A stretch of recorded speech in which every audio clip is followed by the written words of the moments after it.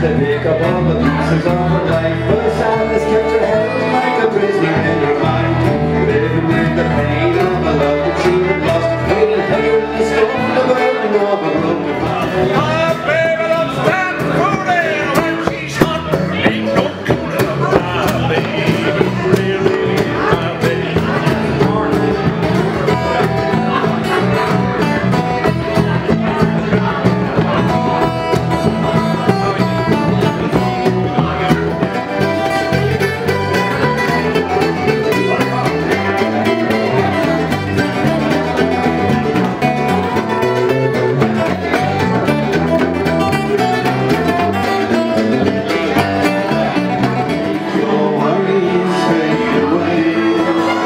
go.